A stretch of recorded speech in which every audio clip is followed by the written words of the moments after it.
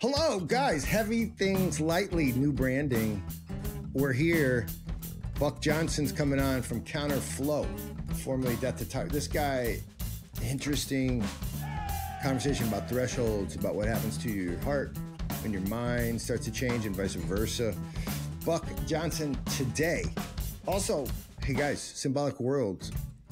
You're looking at the MC slash host guy great speakers Martin Shaw, Jonathan Pageau, Father Stephen DeYoung. February 29th down in Tarpon Springs. Go get your tickets. Let's go. Let's do it. We're doing two dinners there. Well, one for sure Saturday night, where everybody who wants to go is invited. And we'll throw a Supra. That's right. Guys, today on Heavy Things Lightly, this is the music of Greg Gilbertson. What's up, Buck? So my friend Counter from Counterflow.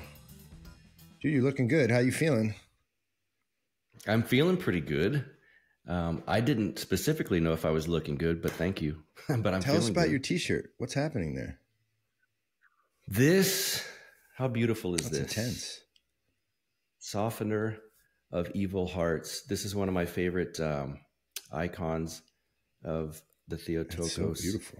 And uh, yeah, a, a, guy I know up in actually, we were just talking about Denton. I believe he's up there as well. And uh, he makes these shirts that are Orthodox style shirts with an aesthetic that I like. He's kind of an old heavy metal. I know who he is. As a, I think you I do? do. It's the the company's called. I'm giving him free plugs. I paid for this know, shirt, man. but the company's called Thirteenth Vigil. Thirteenth Vigil. I went to that parish, St. Maximus, the OCA parish up there. That was intense. I like Okay, that place. I don't okay. know if it's anyway. The shirt, so good. You're rocking that out. I, you know, I came. I'm just a pagan. I'm wearing a Knicks hat. That's all I got. Very nice. You're not judging Yeah. me for that, are you? A little bit.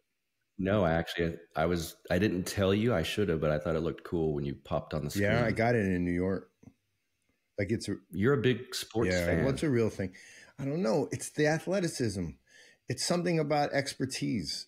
It's something about yes, I climbing agree. the ladder, you know, and not stopping. Mhm. No matter how much talent a lot of these guys were given, they still had to they had to ball it out. They had to like there's plenty of guys with the same talent that didn't do what they did. There's something beautiful about that. I like it. That's yeah. That's why I love it because I love the NFL.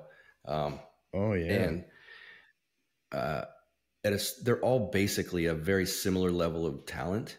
But when one like to make the Pro Bowl or the Super Bowl, like when people edge out the other ones, it's like this extra thing that most men don't have. So it's beautiful I know. to watch. in my and I think it's just the easiest way to understand all the spiritual journeys, all the all the spiritual ladders that we have to climb. They, they sort of flesh it out in body. I'm not trying to say they're they're inclined toward spiritual goodness. I'm just trying to say that what they're doing with their Right. bodies on a lot of levels, I think we're called to do with our souls. And well, St. Paul. Yeah. I mean, it's not like we're like breaking ground. you know what I mean? Like St. Paul kind of Yes. talked about these things, but so you you do counterflow, but you used to do something called Death to Tyrants. So you, you're Mhm. you're a well known talk about interesting stuff guy, and with great intrigue and a lot of great guests too. I like your pod for you get good guests. So, but it wasn't always counterflow. So what happened? Like, how did it not? What what happened to Death to Tyrants, and what was that? So Death to Tyrants was uh it was like a strident, strictly anarcho-capitalist political libertarian podcast, which is what I was. Um, and two, I was an atheist, sadly enough. And I still was an atheist even when I did the rebranding to call it Counterflow. Uh, I, I merged, I, I became part of a podcast network of sorts with a with a guy and he was the one that said we got to change it well he actually said you can keep death to tyrants but on this network we're going to do something else because that's kind of limits you that puts a ceiling Mm. on you with this ah, i'm an ancap guy and he was actually right because even in my circles there were a few people i asked to come on the show they didn't specifically say i'm not coming on because of the names a little bit hardcore, but I know that, that I found through other channels that was the reason. So I told the gentleman on the network, I said, you know what? I don't want it. It's too much work to do two separate shows. I was already thinking about this name being a little bit uh, limiting for me. So let's change it and just keep the same.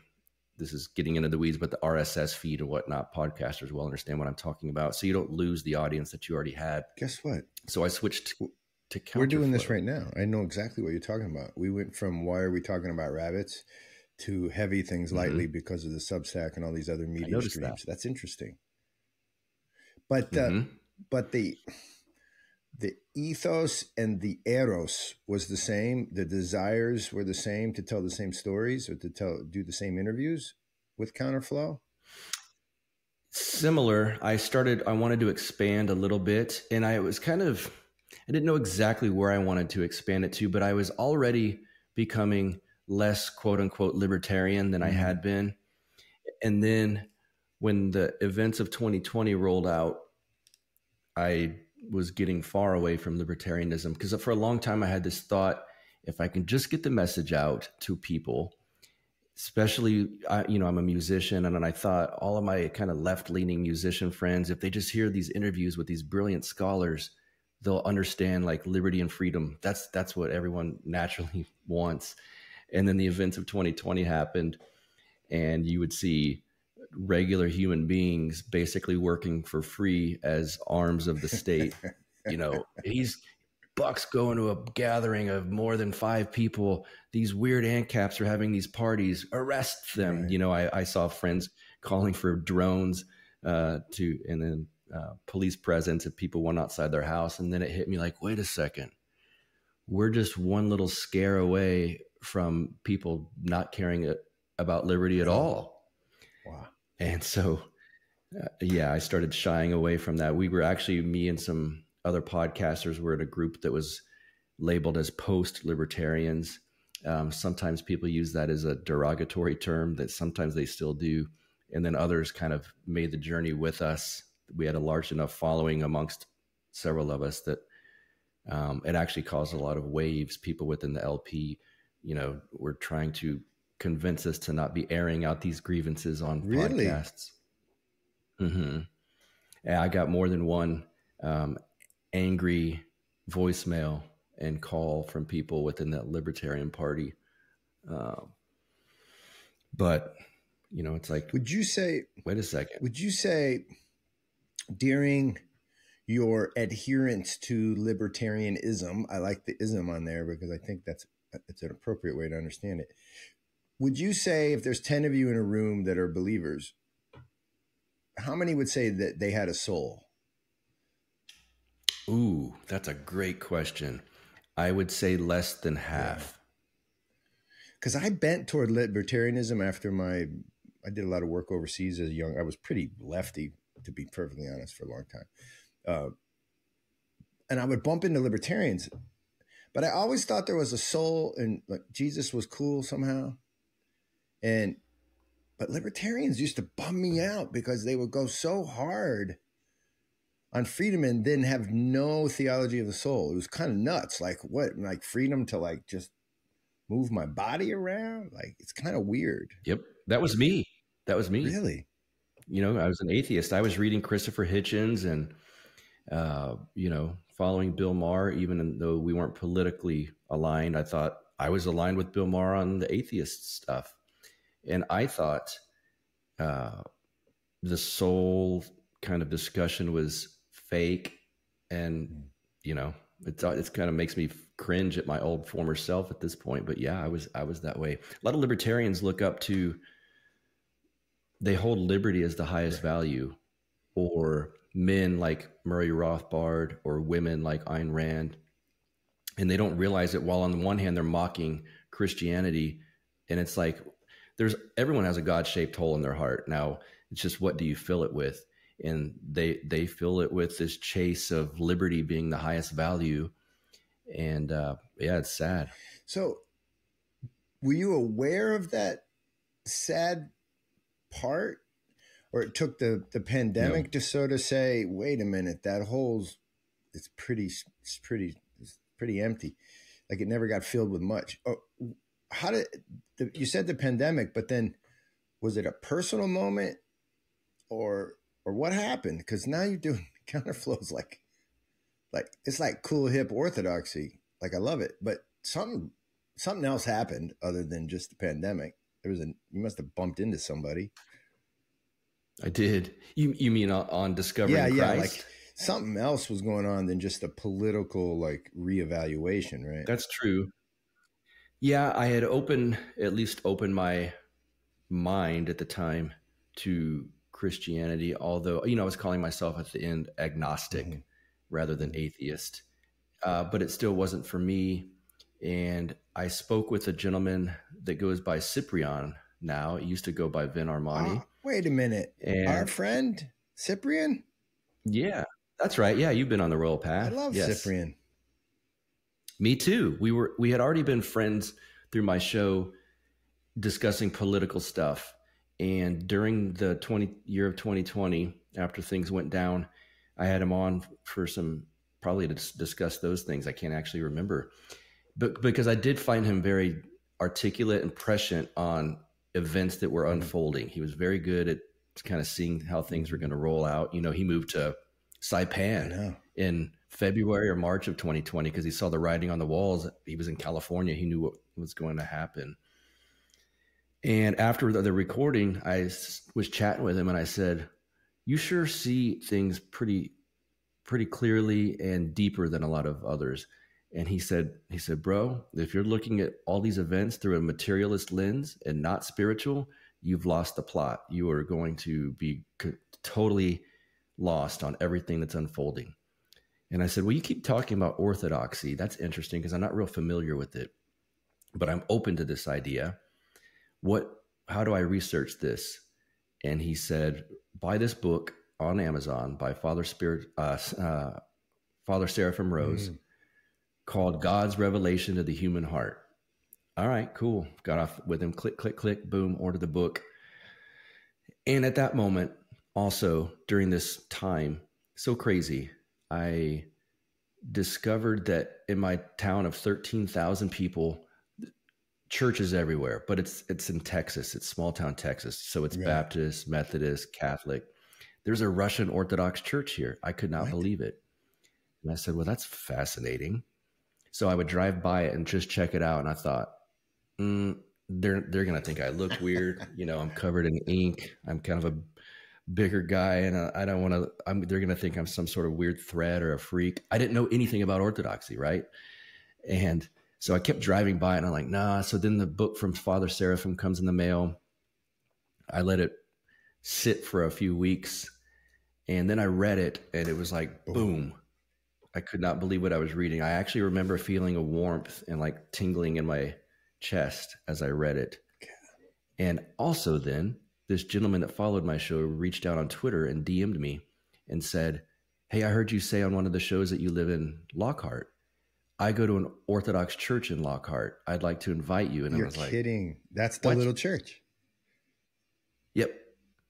And I said, wait a second. Who this guy had like an avatar that wasn't him. You know, some of these guys on Twitter. And I said, wait a sec, who who is this? Where do you live in Lockhart? Let's get a drink. And he said, No, I actually travel in about an hour. Uh, but I just want you. And I said, weird. I've been driving by that church and I just got this book from Father Seraphim Rose. And he said, well, there's an icon of Father Seraphim in that church.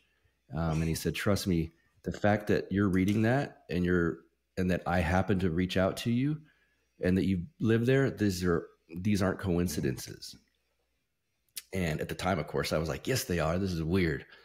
And so that's kind of Isn't what got funny? me in, even in, in the, the phraseology right there. Yes, they are. They are two acquaintances. This is weird. Wait a minute. I thought I thought they were right. I thought they were just luck ups. Why would it yeah. why would it be right. weird if it's you see you see what I'm saying? It's like it either is or it isn't. I, I know I'm the same way. Even now I'm 27 years Orthodox. I'll be like, well, that's weird. No, it's not weird, dude. It's it's, it's not weird at all. Reality emerging, and you should snap out of it. Uh, so then, okay, yeah, and you know what? I think when you scratch, really just the threshold idea of moving from one thing to another. If you ever notice, I, I really believe this. It's always a person. So like Cyprian's one of those people.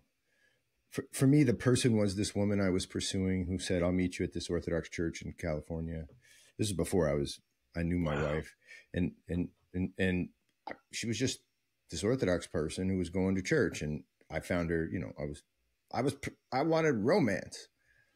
So her personhood brought me to stand in, in that Green Street church and then get embarrassed by a babushka who's like, stand up because I sat down. I'm like, I'm like 28 yeah. and like, you know, athletic. And then I just come in and get tired in like two minutes and then sat down.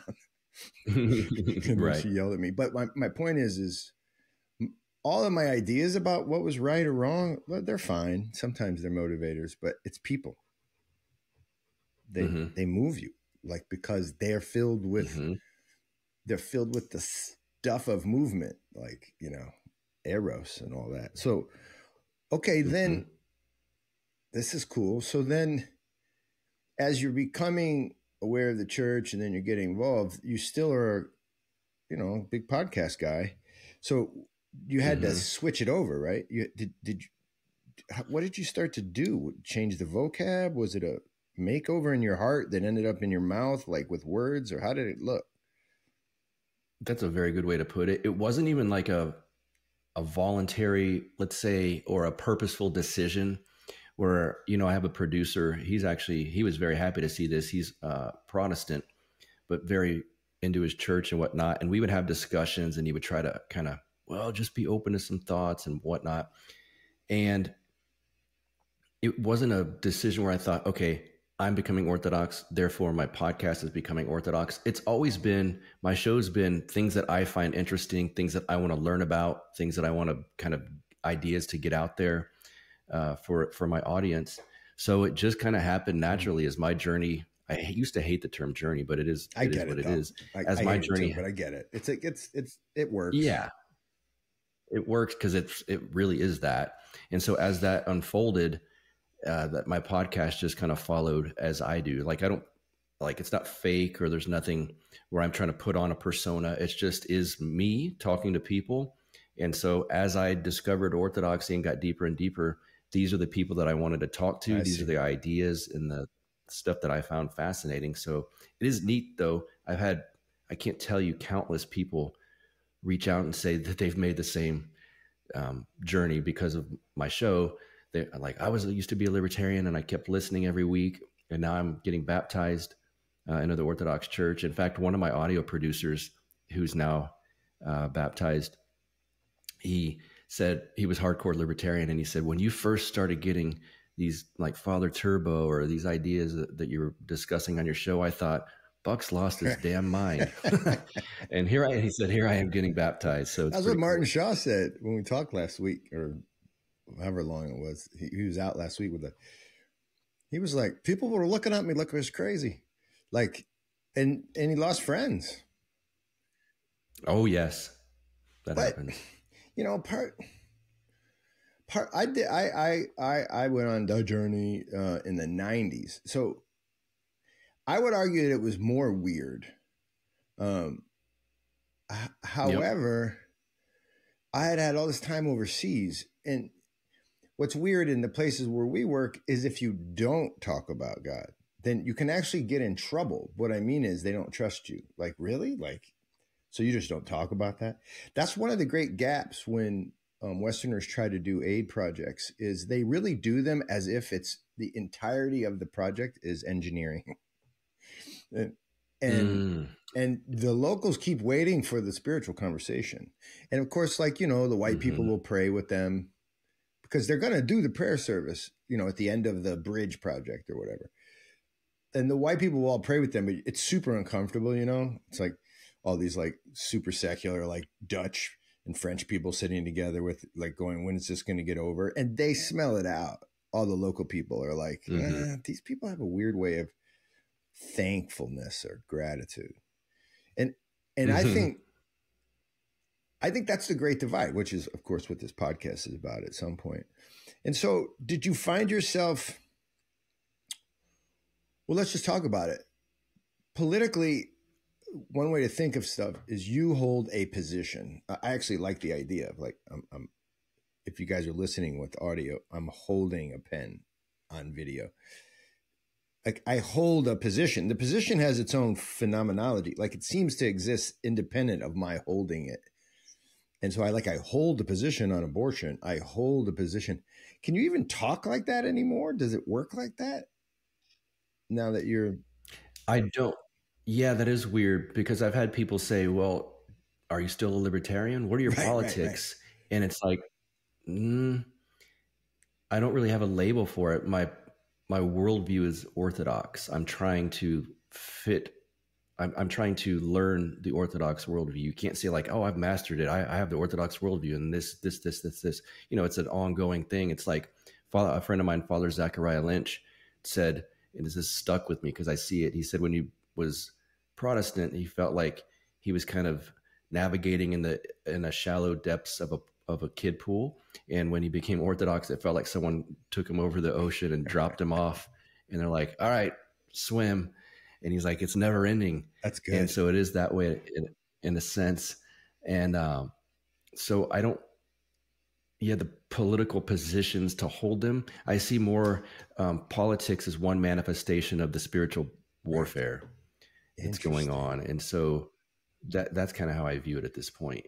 Of course, I have political positions, right? I'm I'm pro life or um, I'm anti war for the most part. So there's that's there, but it's not it's not um, what fills my mind and what I wake up thinking about. Uh, like it. So your voice, if you guys listen to what Buck, you do what I do, and I think it's good when you said, Of course, I have political positions, this was like a diminution of the idea. Like, if I have to tell you them, I'll tell you them. I find that's really endemic to a spiritual mindset, which is like, okay, are you going to pin me down? Should we have passed the border crossing thing that happened this week? If you pin me down, I'll have it with you. But what I find with a lot of my, I have a lot of secular friends. They love that space I can only stay in that space for like a minute and I just got to get out. I want to go like, okay, what's a border? you know, mm-hmm. hold on. Mm-hmm. Let's talk mm-hmm. about the border of Palestine and Israel.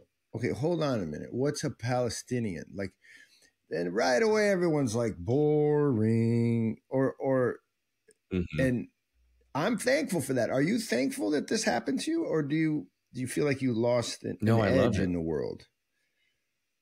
No, I think I've gained a better perspective.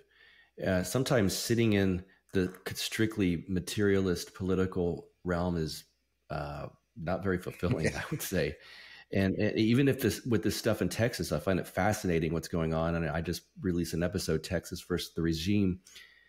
I I'm even like, you know, here it's like, well, we can't allow all these cross these illegals crossing in here, and Texas is fighting the federal Biden regime I'm fascinated by that aspect of it. It's like, okay, I get it. Yes, it's over immigration. But aside from the immigration part of it, what's going on represents a broader historical landmark, in my opinion. Like the, a state's pushing right. back and saying no to the federal, like that. Uh, okay, it's it's over immigration. Got it.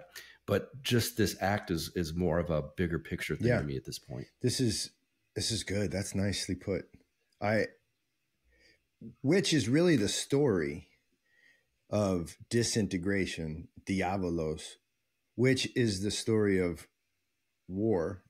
At some point, war is a breakdown, right, of, of, of humanity's ability to relate to the other as a spirit. And so, yes. And so, yeah, that's the real story. That's the one I bring into my little, you know, my text strings with these guys, and they spit it right back out for better or worse. I mean, not not every conversation. Look, I got a Knicks hat on. You know what I mean? It's like not every conversation is that heavy. But if you don't do the heavy things, what what happens? I don't know. I don't know. Uh, did you did you lose libertarian friends that that didn't want the heavy things that wanted you to s- stick with the protocol? Um, not necessarily for those reasons. No, if I lost, I don't think I lost quote unquote lost libertarian friends uh, one reason I would say is because I don't, I'm not pushing stuff on to people that are secular, right? I don't go to a gathering and and if I do, it's libertarians are there. They do ask me like, so what's up with the Orthodox mm. thing or the Libertarian Orthodox pipeline? But I'm not like, look, bro, don't talk to me if you're secular. Um, so I think my general mannerism and and affect kind of helps helps that mm-hmm. situation. I would say if I lost friends, it would be that it's just I don't go to the same sort of functions anymore. So it would be more of just a kind of a natural, you know, kind of dying off of certain aspects of my life. N- nothing like where it's direct, like, oh, Buck's are Orthodox. I'm tired of that stuff. I, I don't want to hear it anymore. Not so much. I that. love that. I know. I see it. That makes, which is natural, right? You, there's this different. There's pull and push, and I don't. I like the idea of being pulled into orthodoxy, but I don't like the idea of pushing people into it. I, I'm not good at that. Right. It's no. It's not a good thing. I uh, a reader that used to be at my church told me once uh, when I was converting. He said, "Don't argue with people about this." He said, "You can argue." You can't argue someone into heaven, but you can argue many people yeah, out. That's how it feels. And that that's kind of stuck with my, you know, it's like, look, I've had people come to me well, what's my first step here? What should I do? Well, you should reach out to the priest and then go to the service. And then I've had some say, I'm, it's amazing how powerful Christ is because he really does scare people. And I've seen it so many times with people that are actually their heart open to it. Oh, I don't know, man. It's, I went, kind of, things are kind of weird. I'm afraid if I become a catechumen, they keep telling me it's a really hard, it'll be a hard year. It was for me. And so you went through these things. I don't know if I'm ready for that. And it's, I always say, cool. Well, I'm, you know, it's not my job to push you into it. So when you do feel you're ready, I hope, you know, hope you take advantage of that opportunity. But I think it's a very healthy step forward. But if you're not ready for it, don't do it. Uh, one of my dear friends who worked in uh, the field, first things, he was an inquirer and he went to a Georgian monk who could speak enough English um, he had not worked in Georgia. He had worked in Africa, and he went to the. He was there in Georgia, and he went to the monk, and he said, "I want to, I want to stay here, and I want to be become Orthodox." it's actually the famous. There's a. It's, it's, a very famous spiritual father that he sings. He sang in front of the Pope. I don't know if, if anybody's seen that video. His name is Father Seraphim. Very famous. He sang in front of the Pope with this young girl singing these ancient Georgian tunes. But anyway, he told him, "You don't want to do that. You don't want to do that." he was like, no, I want to become a Christian. He was like, nah, I don't, I don't, I don't think you want to do that. and he was like, well, I do. And he said, okay, um, all right, two years, come to the church for two years, and then we'll talk about what comes next. he was like, no, like, what should I trying to read instead? He goes, just first of all, just come to church for two years. then we'll talk. Mm-hmm. Whoa, that mm-hmm. is like the opposite of Western Christianity. It's nuts. It is. Yes. Yeah, and and Father Turbo has said it before uh, on his show. The church doesn't need you. You need the church.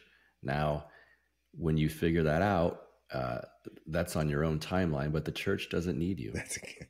So, do you have the thought, as a Western-minded former libertarian trained in the scientific method, do you have the thought like, "Oh no, it's a missed opportunity. I do. You mean if someone doesn't, if someone goes to the church and then doesn't oh, continue yeah, or going? you know, they get the the classic. Everybody talks about the classic Orthodox cold shoulder, where everyone's like, "What are you doing here? You don't belong here." like, I always feel like, "Oh no, I want to have small talk with that person, so they'll feel better about their moment here." I become that person. I do. Yes, yes, and sometimes I I I'm hard on myself if I see a new young man or woman uh, at, at, coffee hour and that and I have to leave or something, and I think, man, I should have said something to that person. Uh, they're gonna think that I was a jerk or something like that, and, or they'll think that yeah, it's a missed opportunity. Like they're, they're not going to come back now because I didn't say something to them. So yeah, I, I do have that feeling. I try to go up and shake hands and, and just talk to people uh, so, at the coffee hour let's ask the question. Let's just investigate it together. I actually I think it's a really relevant question, not just for Orthodox people, by the way. So, is that a cultural thing? Um, Russians won't really do that. That's not a thing in Russia or Russian lands. Or do do you think that's a, just like a, a waspy thing that's happening? Or do you think it is a type of proper relationship to the stranger? Um, I don't, I'm really torn on this.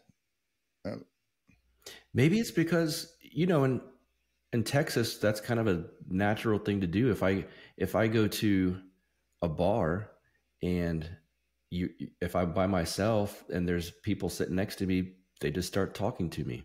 So it's I don't know if that's strictly Texas, but it's my environment. It's what I'm used to. Especially I'm in a small town of thirteen thousand people, so that's very common here. It at HEB, our our, gro- our local grocery store, I've had people to start chatting with me. So to be in a small, my parish is very small. I would say it's 600 square feet. Uh, it's it's just unnatural not to do that. I see that at this point for us. I I'm torn without throwing the Midwest, the entire Midwest under the bus. Um, I find Midwesterners are very much, hey, very nice to meet you. Da, da, da, it's like a duty, and then there's suspicion in the quiet. Like there's suspicion in the quiet after space. Like, I don't know. I don't really like the way that guy, his clothes were weird. They're not, it's like an act of the moment in order to appear good. I'm not saying it's every mm-hmm. Midwesterner. Please don't hate me. Okay. but yeah, there's something about the small talk. So my wife, who grew up in Harlem and in, in New York City, Russian friends that I have, they all smell this out and they take it as disingenuous, not not the other way around.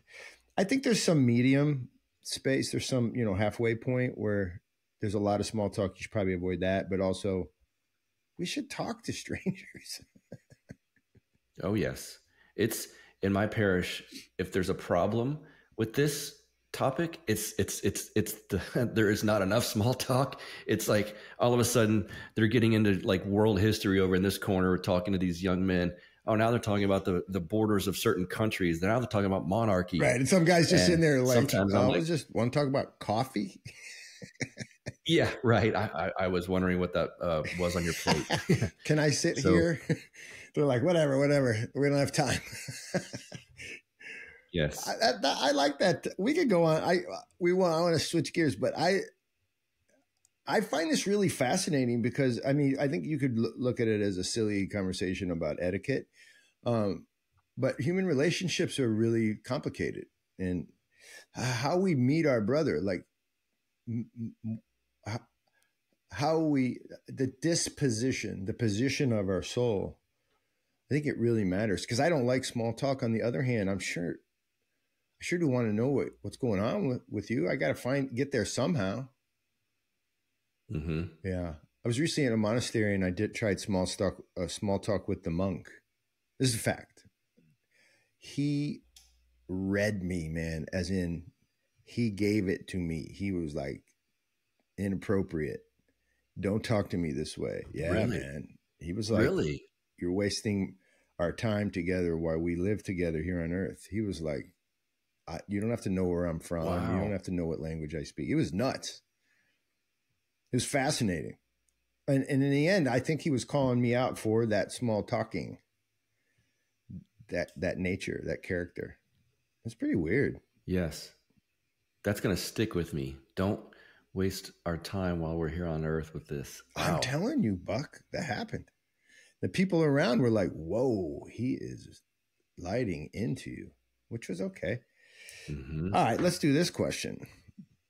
Um, there's something going on, right? Where everybody's having to choose between sort of um, like Palestine, Israel, globalism, um, you know, cultures of the global south versus cultures of the global north. You can say white versus black. There's these big divisions going on, and you interview folks and talk about politics. So let me flip it around to you. Is there a position we should take when it comes to the conversation about who holds the power and who should hold the power? Is there one you you take?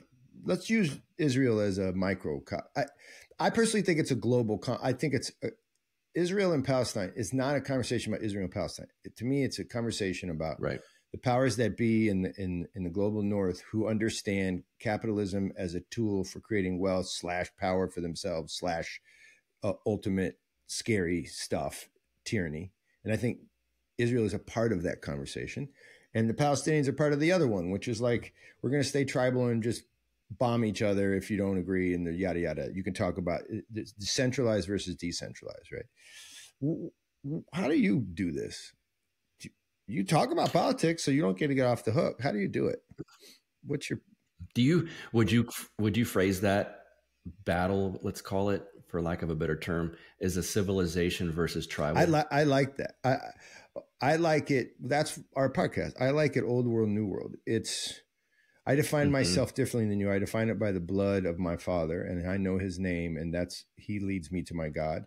Versus, you know, we're all animals in the world trying to develop systems that make our lives better while we're here, something like that. So, yeah. Mm-hmm. I used to be that one. Uh, that's the very libertarian materialist worldview yeah. versus, let's say, um, tribal, old world. Stick with um, your people. We have souls.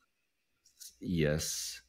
Uh, and, and, you can see, I, I broadly would just call this more spiritual warfare and how it manifests itself. I think we can say the same thing in Ukraine right now with what's going on uh, with Russia. It's interesting, like these NATO organizations, right? They're they're always on. It's it's funny. I find myself against whatever they're doing. You know, it's pro Zelensky, right. it's pro Israel, and but they're not. They're putting their reasons out there.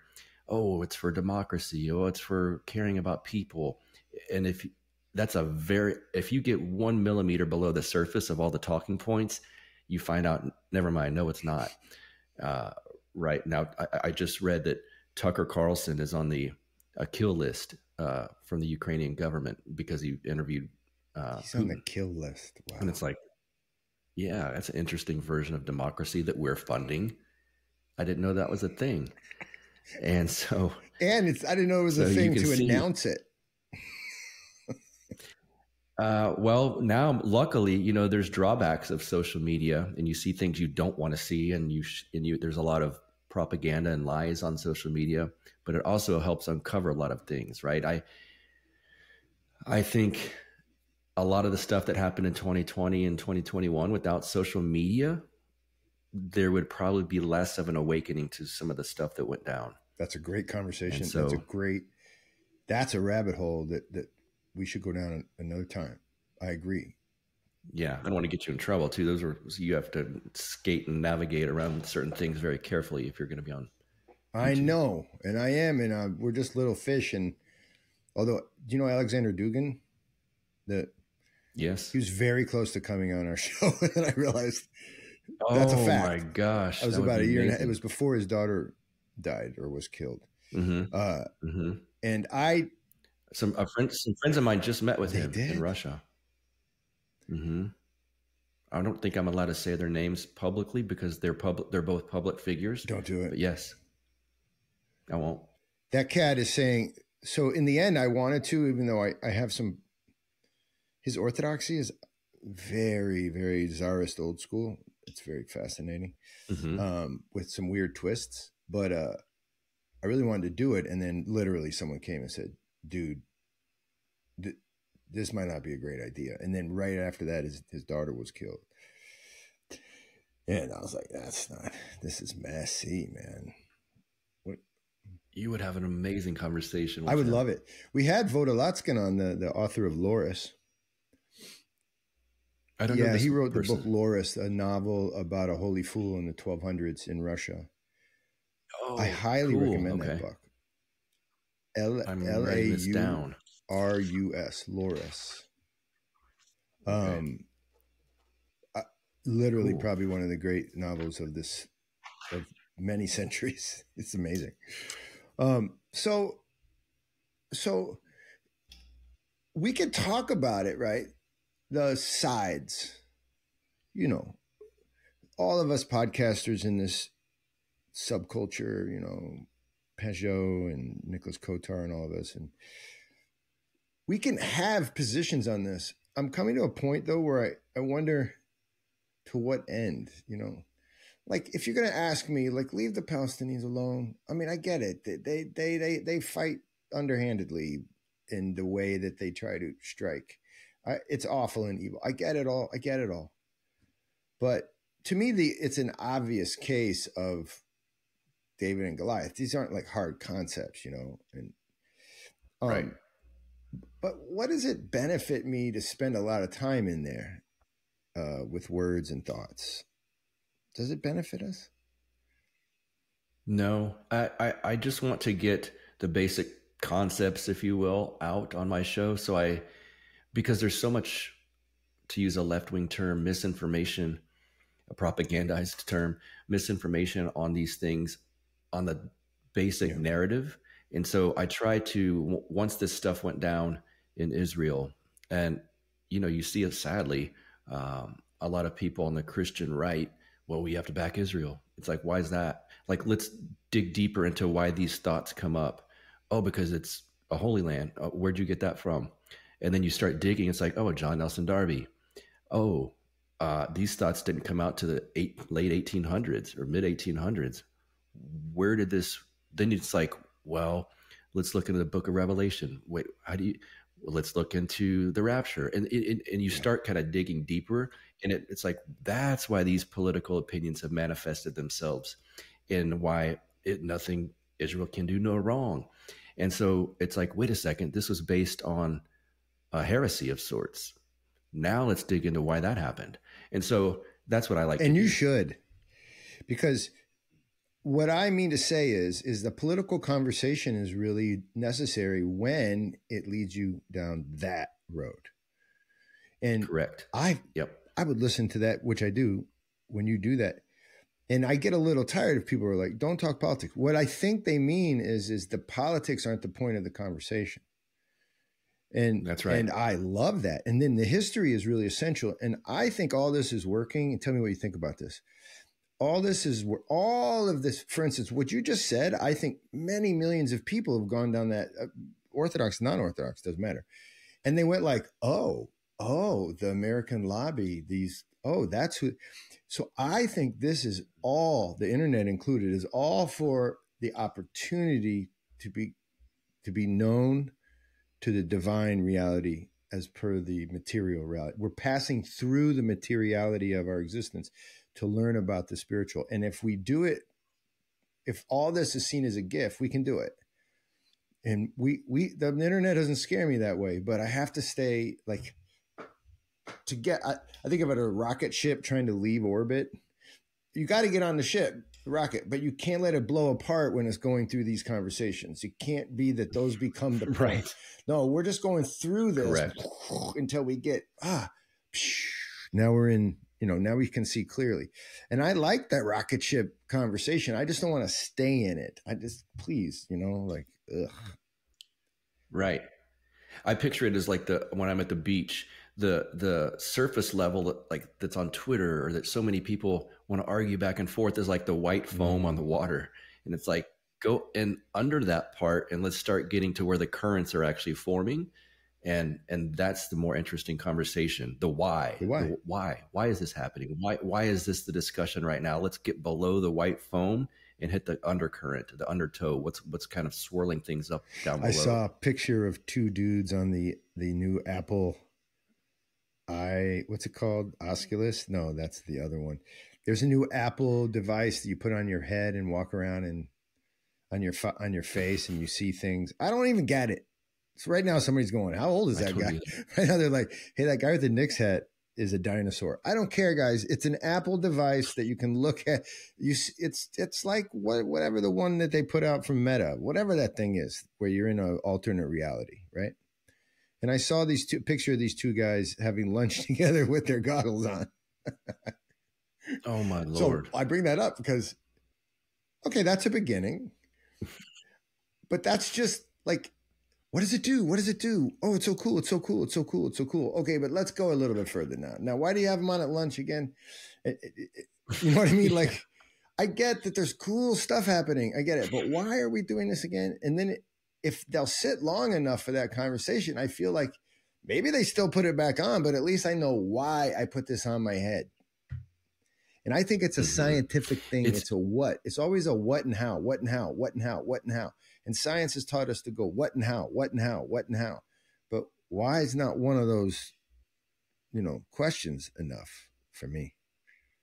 No, it never is. And it's sad that we as as a culture we have moved so far away from actual truth and actual reality that it's like let me get out of this craziness this crazy world that i'm sitting in and let's put these things on that make it an alternate reality it's like dude you're already in, in an alternate reality and that's why you're trying to escape it but you're oh, going the wrong good. direction you're right there's an attempt at escape because they haven't yet come to the yeah, they haven't been brought to the conversation about what this reality is. Oh, that's intense.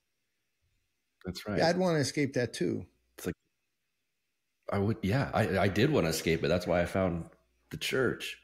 Wow. And so maybe we do. A, let's go this direction for just a second because I let's just a couple. Let's just talk for one more second because I don't want to. I don't want to hang up yet because you're here and you're kind of like I'm like a little baby podcaster compared to you. So here's a question. What makes for a good podcast? Oh man. That's a great question. For me, and this is not me crafting my own. It's let's say it's when I I'm searching um below the surface discussions, uh, spiritual warfare discussions, you know, uh, I should also preface this with you're a Knicks guy, I'm a Raiders guy. If we're talking surface level, I, I'd watch Raiders podcasts almost every day. That's a whole separate issue. But if we're talking something that's deeper than that, um, yeah, I, I, spiritual warfare, below surface mm-hmm. discussions, um, hearing information that I, I, I'm thirsty for on topics that I find fascinating generally. I mean, that's kind of a broad sweeping answer, but that's what I would that's say. That's helpful. No, I go back and forth. I like the host or the guest that's vulnerable. And there's something about the podcast format. Partly because it's just so easy. You know, I have to go to a studio, I have to get into a car and drive to a studio and get mic'd up, and you just sort of turn it on. There's something informal that I think podcasts allow us to be vulnerable and like whatever man and i love that now m- my brother who you mm-hmm. know and who's a, he's a serious internet person he knows he really prefers to have all the questions and all the answers like ready to go it's like a data download like i don't mm-hmm. you don't He's yeah, teaching. right. He's like, he's teaching, don't, don't, don't, and th- mm-hmm. there's a real place for that. Like you don't even you didn't even know what I was going to ask you today. We just we said, eh, let's maybe go toward libertarianism. Um, I didn't know. In fact, I didn't. I purposefully didn't go back in the email thread to see what you said. I, I, don't know even if you said it, but I thought I just want to talk. But so there's I'm a whole there's a whole cohort of people that would call this conversation lazy because we didn't, you know, we didn't prep. I don't like the word prep because I did prep, but I didn't. I didn't mm-hmm. outline the three parts of every question. And and I think for some people they find that lazy. I think that's a dying approach to life. I think that's the spreadsheet approach that really was that worked for you know since World War II. That let's organize, control, plan, execute. I think people are dying. Mm-hmm. They're tired of that. They want a little bit more of this vulnerable. Let's let's relate. And I tend to like those mm-hmm. podcasts mm-hmm. and those podcasters. I do too. I I'm a big fan of Tucker Carlson, and when I watch him do his thing, and he has no notes very often, and he's making these wonderful interviews, and I sit and watch him like, boy, he's just it's it's like he's brilliant and he's flowing a conver- the conversation is flowing at the same time, and I kind of admire that. Like, how does he do this so well? I think because he believes, and uh, I study people I like think him. it starts with that vulnerability. I was like, I'm a believer in this, and I really want to know. You know those I like them. I think I might be one. You're probably one too. I like the nerds who actually just want to know. And then you realize yes. they have not been actually doing anything for the last 15 minutes, but trying to figure something out. I, mm-hmm. And the vulnerability aspect of it for me is like there's a there's people much more intelligent than me that could be watching this. They're like, geez, he's kind of dumb.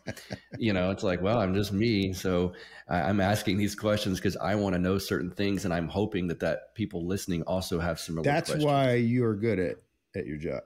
And that's that's the fact right there. Is because you don't have to be in front. That's gorgeous, man. That's super gorgeous. So, Thanks. All right. So people can find Counterflow. Um, we'll put it in the notes. Um, we're like buddies now because I did your show a little while back. You helped me to talk about our work. Um, there's some more iterations Mhm. coming out. We're starting to learn a lot about the beauty of hosting these tables. They're becoming, um, they have their own energy, and it's just because Westerners they want something beautiful that doesn't that's not a product. By that I mean a material product. They and Correct.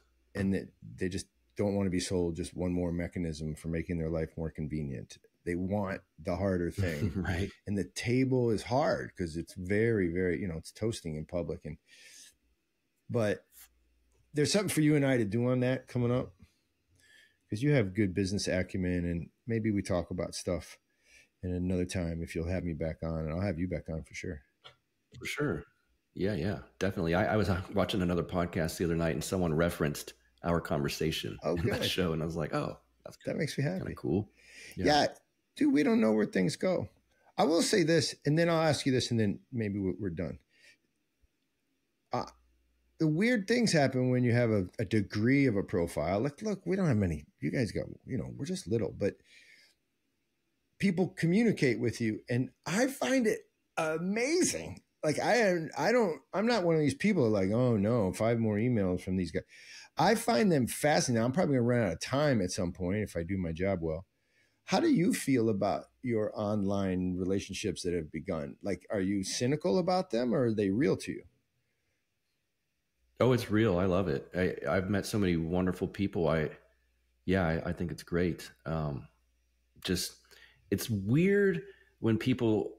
I don't want to be an authority on anything, except maybe the Raiders.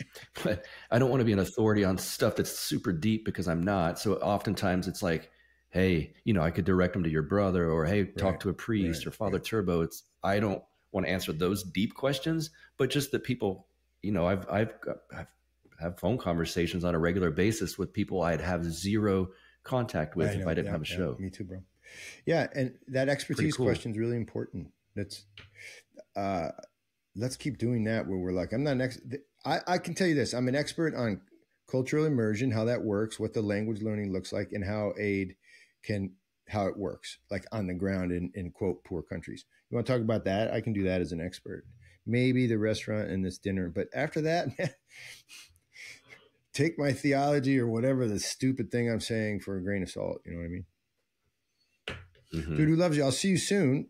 Um, yeah, Buck Johnson, guys from Counterflow. Thanks for coming on. Beautiful.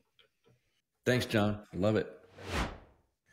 All right, guys, that's Buck Johnson. I want to say something to Buck. Keep going. I love his podcast. It's very interesting. Get some characters on there. Uh, guys, check us out www.first-things.org. Also, go check out Glassy Baby. Yeah, it's a company out west that does these magnificent candles. They're beautiful. We like green at First Things. We've chosen green, and they've chosen us to receive a little kickback every time people buy Glassy Baby. It comes back to us at First Things, a percentage on your purchase. How about that? We are in their stable of wonder. When they do well, we do well. Glassy Baby. Check it out online. We'll put the link. Love those guys. So much love to you. Lots coming up. Please consider becoming a monthly donor. And while you do that, I'll be out here trying to spread the word on First Things. Much love. Peace out.